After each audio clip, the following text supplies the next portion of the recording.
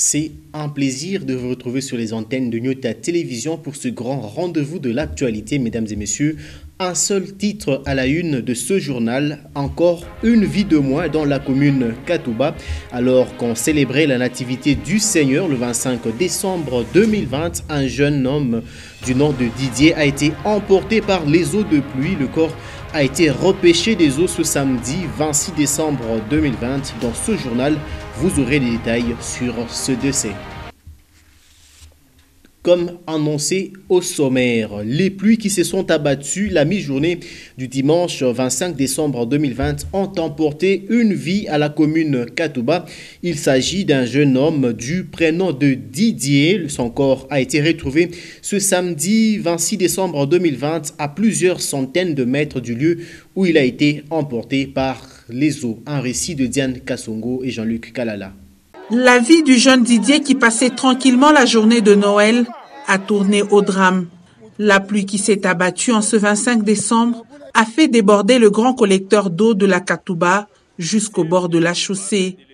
Et c'est là que Didier a été emporté depuis l'avenue Upemba à la Katouba 3 jusqu'au bord de ce collecteur, non loin de l'avenue Tanganyika à la Katouba 2.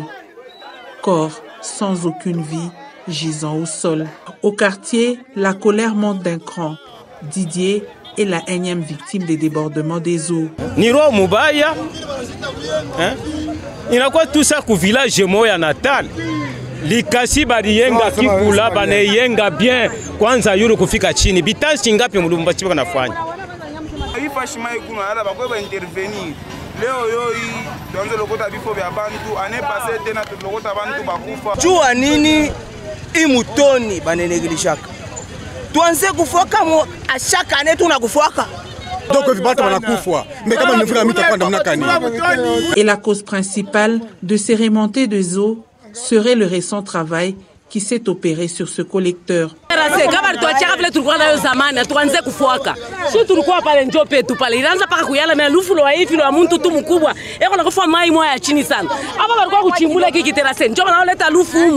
Banaenda na nini na anje hapa inafika tu mpaka banasimamisha mai iko nenda kidogo inafika pale na jama. Buchafu bote buna jama inarudia inaingia mumanyumba balafua maskara ya bongo hapa asema no tunatengeneza. Bantu banakufa muyomba banapita. Pour rappel, il y a peu, des grands travaux d'évacuation d'ordures se sont opérés dans ce collecteur et des tonnes de déchets y ont été dégagés. Alors, à qui incombe la faute? Ifashi panatokea hapa kutengeneza paka sasa haifanya hata made mois hata un mois ene hata Ce que nous, nous, nous déplorons, c'est quoi? Que les autorités de la place, le chef de quartier, chef de rue, le bourgmestre, qu'ils puissent travailler. Regarde comment l'entourage. Comment l'entourage. Regarde même vous, monsieur le journaliste, regarde l'entourage. Et malpropre quand même. À ce jour, il est toujours facile d'apercevoir des ordures dans les canalisations, chose qui bloque le passage des eaux. Et pour se frayer un chemin, l'unique endroit reste la chaussée, où ces eaux peuvent à leur tour tout emporter. Nous allons rester dans la commune Katouba pour parler toujours de pluie. Depuis le début de la saison de pluie, la commune Katouba enregistre récurremment le débordement des eaux sur l'avenue centrale qui relie la Katouba à la commune de la Kenya. Il est impossible d'effectuer tout déplacement. Ainsi, la population non seulement s'inquiète, mais aussi plaide pour la construction des caniveaux. Un reportage de Gaylor Chamba Griffon. À chaque tombée de fortes pluies, l'avenue centrale de la commune de Katouba se retrouve sérieusement engloutie par les eaux de pluie. Passage impossible de ces eaux, même les parcelles sont pleines de tant de mètres cubes d'eau. La population s'en plaint.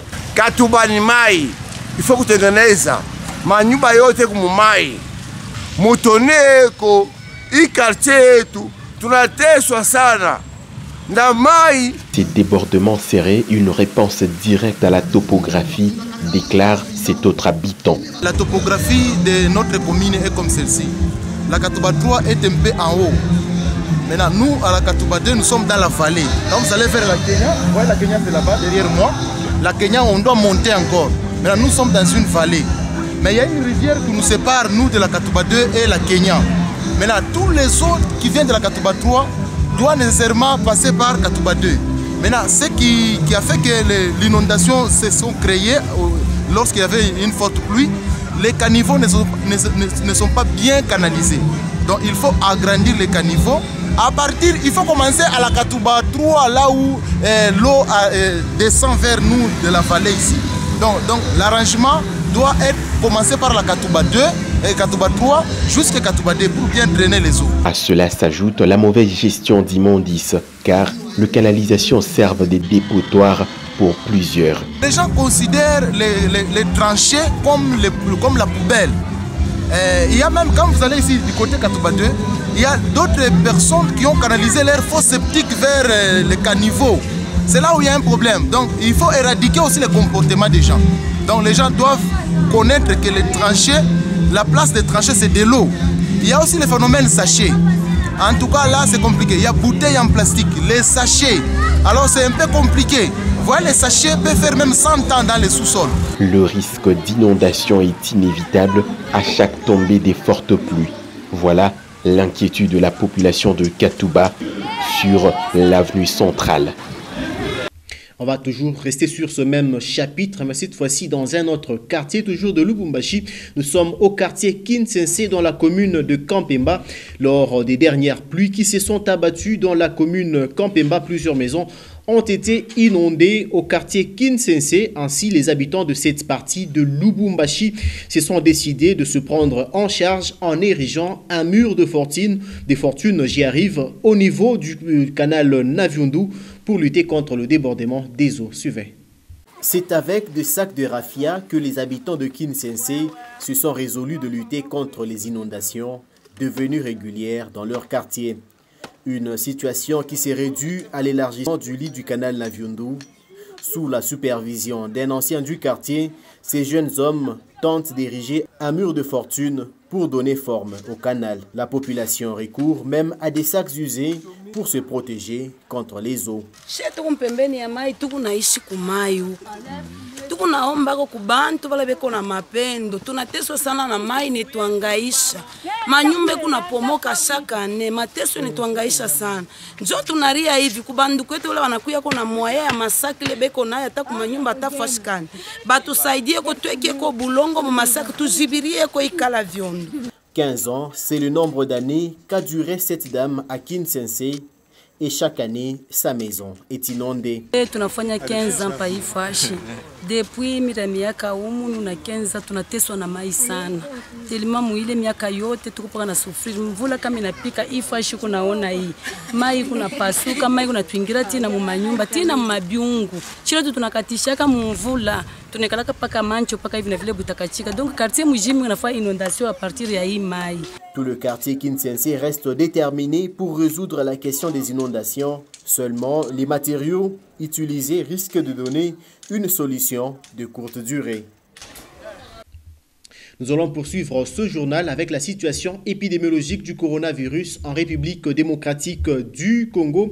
D'après le comité multisectoriel de lutte contre le coronavirus, 291 nouveaux cas de coronavirus ont été enregistrés en République démocratique du Congo. Il s'agit de 260 à Kinshasa, 26 au Congo central, 4 dans le Haut-Katanga, 1 dans le nord Ubangi. Aucun nouveau décès à signaler pour la journée du 25 décembre 2020. Ainsi, le cumul des cas est donc de 16 763 personnes infectées euh, du coronavirus. 13 982 personnes ont été déclarées guéries. 573 décès, c'est le nombre de décès depuis le début du coronavirus le 10 mars dernier dans le pays. Nous allons ouvrir un autre chapitre à présent. Nous sommes dans, pendant la période des festivités de fin d'année et de Noël, bien évidemment. Et dans ce chapitre, nous allons parler de la célébration eucharistique tenue en la paroisse Sainte-Barbe. Nous sommes dans la cité minière et frontalière de Kipushi, une messe de Noël célébrée de façon particulière dans cette cité de Kipushi. Un reportage de Diane Kassongo et notre permanent à Kipushi, Louis Lumami. Un enfant nous est né, un fils nous est donné. C'est avec joie et allégresse que les fidèles de la paroisse Sainte-Barbe de Kipushi ont accueilli le petit Jésus. Une célébration eucharistique aux couleurs de Noël présidée par l'abbé Valérien Songué. Dans son homélie, l'homme de Dieu a rappelé aux chrétiens de reconnaître la présence de Jésus-Christ dans leur vie. Voir Dieu, kumwona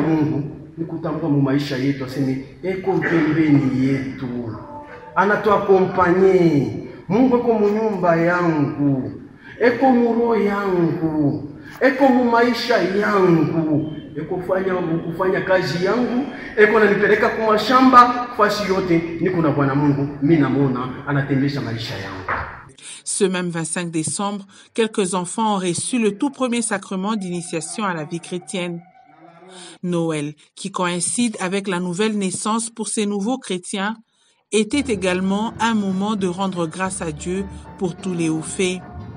Et à Sainte-Barbe, des offrandes en nature ont été remis pour la gloire de Dieu. A signaler qu'il était aussi obligatoire pour tous les chrétiens de laver les mains et tester leur température avant d'accéder à l'église, et ce, conformément à la période de pandémie de Covid-19. C'est en sa double casquette d'envoyé spécial euh, de Moïse Katumbi Chapwe et de président de l'Alliance des mouvements Congo que Salomon Idi Kalonda est allé euh, rendre hommage au feu, disons, à feu honorable André Masumbu, proche collaborateur du président de l'Ensemble pour la République, nous citons Moïse Katumbi Chapwe. L'envoyé spécial de Katumbi Chapwe a également consolé la veuve et toute la famille Masumbu. Un commentaire, une fois de plus, de Diane Kassongo. Abattu et fortement touché par la disparition d'un de ses proches collaborateurs, Moïse Katumbi Chapwe a dépêché son conseiller spécial Salomon Idi Kalunda dans la capitale Kinshasa compatir avec la famille de feu honorable honorable André Masumbubaya. Le décès de cet élu de Sekebanza dans le Congo central est non seulement une grande perte pour sa famille biologique que Salomon Idi Kalonda reconforte en ces jours, mais aussi un vide énorme qui se crée au sein du regroupement politique Alliance des mouvements Congo que dirige l'envoyé spécial de Katumbi. D'un ton plein d'amertume, Salomon Idi Kalonda rappelle ce qu'a été André Masumbubaya. L'honorable André était proche collaborateur du président Moïse. Il était même secrétaire général adjoint de euh, Ensemble pour les changements. En tant que président de notre plateforme AMK, euh, qui aujourd'hui venait de perdre un membre euh, très influent, dans des moments d'ailleurs très critiques pour notre pays, parce que vous savez très bien qu'il devait participer à des négociations. Et voilà, malheureusement, il n'est plus là. Et on va continuer ce qu'il voulait toujours, c'est le bien-être du peuple congolais. Pour Jean-Claude Vouemba, président de l'Assemblée provinciale du Congo central, cette visite de reconfort est la concrétisation de la promesse d'un fervent chrétien, partager les moments de douleur avec la famille du disparu. Sur Moïse Katumbi, je crois que je le dis à chaque instant, il me rappelle le maréchal Mobutu. Dans la douleur, dans la peine, elle est, il est là. Dans la réjouissance, très rare de le voir. Parce que c'est un digne fils de ma Marie. Reconnaître jusqu'au bout les mérites de son camarade politique, un geste salué par la famille Masumbu pour le grand cœur de Moïse Katumbi Chapwe. C'est une vraie, un vrai réconfort et une consolation. Parce que vous savez, on reconnaît les vrais amis, les vrais frères pendant ces douleurs. Il faut d'abord perdre un proche pour savoir ce qui pince le cœur de quelqu'un. Hein, en voyant à distance, vous ne pouvez pas comprendre. Mais dans le cœur, ce qui se passe, c'est douloureux. C'est douloureux. Et lorsque vous avez des frères, des amis qui viennent vous voir, vous réconforter, en tout cas, on ne peut être que reconnaissant. Membre du présidium de l'Alliance des mouvements Congo, André Masumbu est décédé le 18 décembre 2020 à Kinshasa de suite d'une maladie, une grande perte pour la grande famille de Ensemble pour la République. Festivités, on en parle encore, mais cette fois-ci avec le couple présidentiel de la République démocratique du Congo. À l'occasion des festivités, le président de la République, Félix Antoine Tshisekedi Chilombo et son épouse ont adressé aux Congolais un message de vœux. Le couple présidentiel a émis le vœu de voir l'année 2020 plus meilleure que 2020, une année caractérisée par la pandémie de coronavirus. Suivez cet extrait. Très chers compatriotes, c'est Noël. Oui, c'est Noël. Et dans quelques jours, par la grâce de Dieu, nous entrerons dans la nouvelle année. 2020 n'a pas été facile. Une année perturbée par une crise sanitaire d'une ampleur que nous avons rarement vue et qui a emporté plusieurs des nôtres. Une année où nous avons tous fait preuve de combativité pour continuer à vivre et espérer des lendemains meilleurs malgré un contexte politique et socio-économique difficile. Noël est aussi une fête de partage, l'occasion de se rapprocher des autres par un geste d'amour. Malgré la distanciation physique que nous impose cette pandémie, nous savons que la solidarité est gravée dans notre ADN en tant que peuple congolais. Pensons aux plus vulnérables et apportons-leur notre aide, afin que cette année se termine par une note de joie et un sourire. Nous ne pouvons certainement pas célébrer ces festivités comme nous en avons l'habitude à cause de toutes ces restrictions, mais celles-ci sont nécessaires si nous voulons les vivre sains et saufs et en toute quiétude. Au terme de cette année, je tiens à exprimer ma reconnaissance à tous les personnels soignants qui ne cessent d'exposer leur vie pour en sauver d'autres. Nous vous disons sincèrement merci.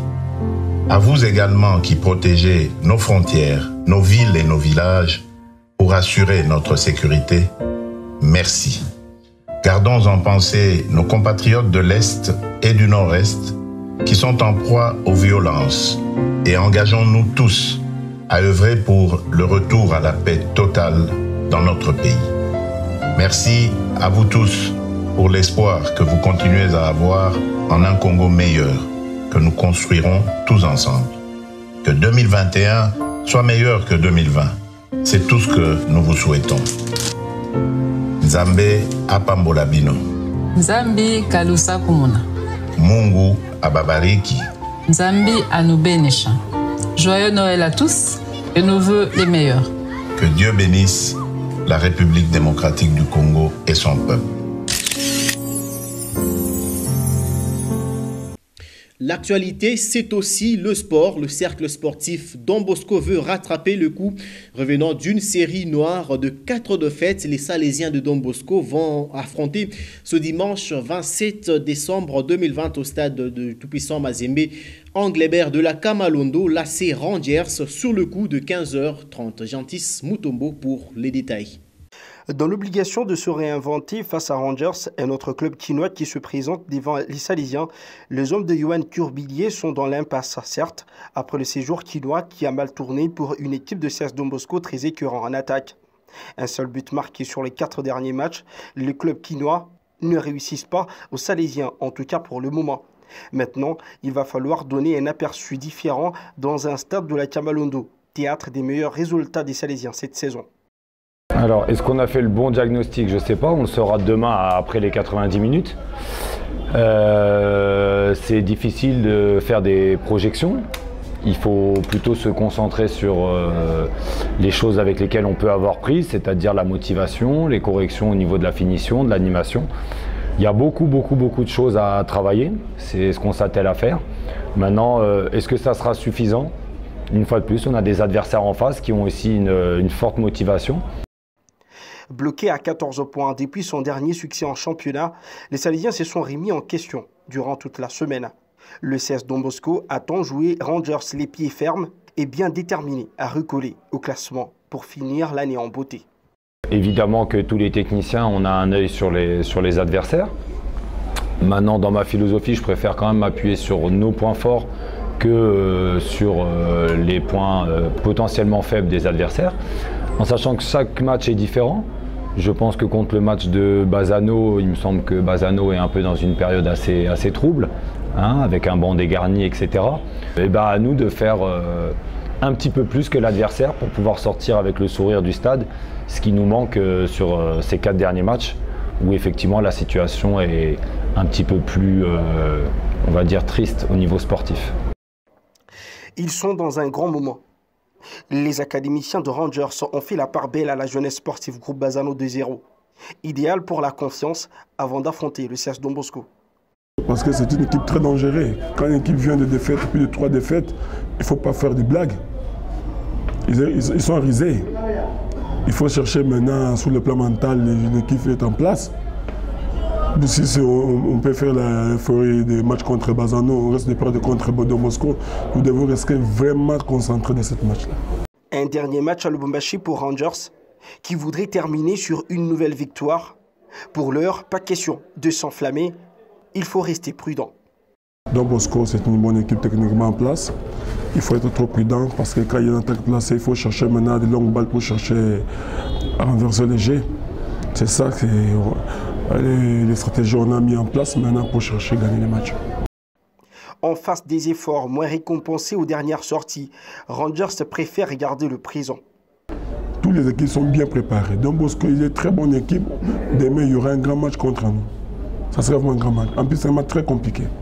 Duel du milieu de tableau avec la saveur de choc euh, pour les Salésiens qui doivent trouver la réponse à la question de comment battre les équipes quinoises. Place à présent au quotidien d'information générale La République dans la rubrique Lu pour vous. C'est dans ce commentaire de Pascal Mwangala Marmotte.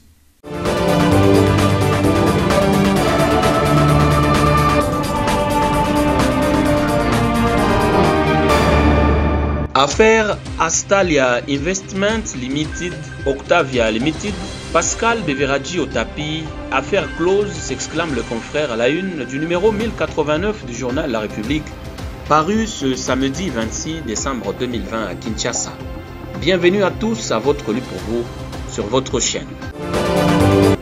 La Cour de cassation de la RDC vient de rendre l'arrêt RPP 499 ce 24 décembre 2020 aux effets conclusifs dans l'affaire qui oppose Astalia Investment à Ostavia Limited depuis plus de 4 mois. Ainsi viennent d'être confirmés par ricochet les droits de Moïse Katumbi en tant que propriétaire de la société Astalia qui est bénéficiaire de la décision rendue par le tribunal de commerce de Colosie sous RAC 232 2332 en date du 25 août 2020. La force exécutoire reconnue à la décision de Colosie sous RAC 233-2332 est à la fois cristallisée et bonifiée au point d'ouvrir un grand boulevard à la société Astalia Investment qui se doit de l'exploiter au maximum par des opérations de saisie des avoirs en banque et des biens meubles et immeubles de Pascal Beveraggi et de toutes ces sociétés qui sont bien inventoriées à Dubaï, en France, en Europe de l'Est, en Afrique de l'Ouest et bien aussi à Durban et ce en quelques mains qu'ils puissent se trouver au prorata de la somme de 70 millions de dollars américains. Et aux confrères de conclure, le droit triomphe toujours sur l'arbitraire et le trafic d'influence. Rebus sic stantibus. Sur la même page, carte blanche, la condamnation à une peine de prison en RDC équivaut-elle déjà à une condamnation à mort s'interroge le confrère. D'une manière générale, les prisons sont conçues comme étant des lieux de rééducation des citoyens qui ne se conforment pas aux règles établies par la société pour le bien supposé de tous les citoyens. En République démocratique du Congo, les prisons sont des lieux de peine, de souffrance tant physique que psychologique. Pour transformer les prisons en haut lieu d'une mort lente, il a suffi au pouvoir public de la RDC de les oublier, de les délaisser. La plupart des prisons ont été construites pendant la période coloniale pour héberger une centaine de détenus. De nos jours, le nombre de détenus a plus que décuplé sans que la surface des bâtiments s'accroisse pour autant. Outre la promiscuité, ce lieu de vie temporaire ouvre la voie à un risque de contamination à la plupart des maladies infectieuses, dermatose, tuberculose, hépatite, etc. À ces risques, Il faut ajouter la violence entre détenus. La malnutrition reste cependant la cause de la plupart des cas de décès dans les prisons de notre pays. Genre, famille et enfants sur la page 4. Béatrice Loméa appelle les parents à protéger les enfants contre les grossesses précoces. Madame Loméa a reconnu que la Covid-19 continue à secouer encore aujourd'hui le monde en imposant d'énormes sacrifices et beaucoup de disciplines puisque la République démocratique du Congo RDC fait face à la deuxième vague mais cette situation ne peut en aucun cas nous paralyser. Elle a fait remarquer que c'est pendant ce moment d'arrêt provoqué par la pandémie à coronavirus que tout peut arriver aux enfants dont les grossesses précoces. De ce fait, Madame Loméa a recommandé aux parents d'ouvrir l'œil et le bon pour protéger et surveiller ces enfants mineurs qui déambulent sans encadrement et suivi, car, a-t-elle dit, c'est malheureusement à cette même période qu'on note un grand nombre de grossesses précoces. Culture sur la page 10, se confiant à l'AFP Fali Poupa, le Congo nourrit la planète musicale. Quelques jours avant la sortie de son énième album Tokos 2, Fali Poupa multipliait des interviews pour aplanir son chemin. Il était aussi l'invité de l'agence France Presse AFP. Celui-ci disait, sans mâcher le mot, que le Congo nourrit la planète musicale.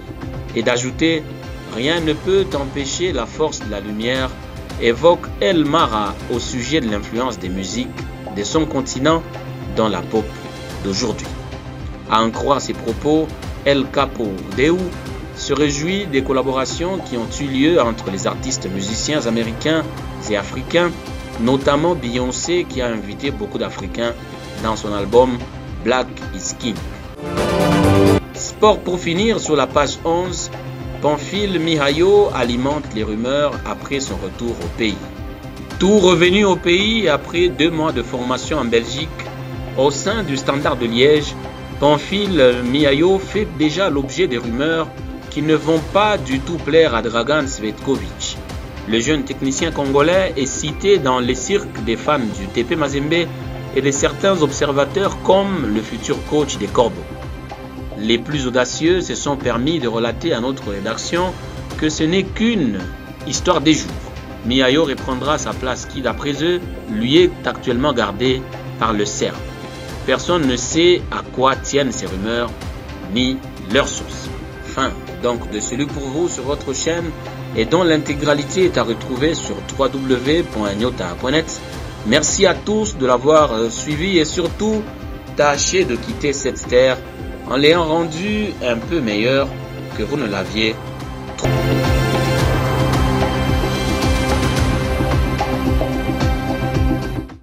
Ce journal s'achève sur Nyota Télévision, mesdames et messieurs. Nous vous disons sincèrement merci d'avoir choisi votre chaîne pour vous informer, mais les informations continuent sur www.nyota.net. Je vous retrouve dans la prochaine édition.